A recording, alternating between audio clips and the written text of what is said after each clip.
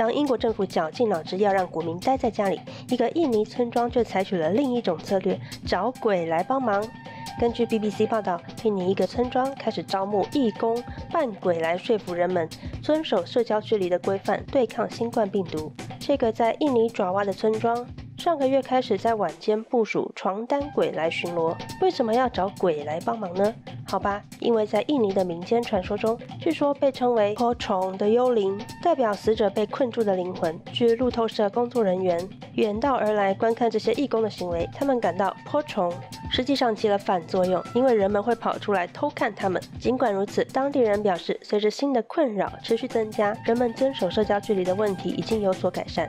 一位居民告诉路透社，自从坡虫出现以来，家长和孩子们就没有再离开过家。晚上祈祷后，人们不再聚集或逗留街头。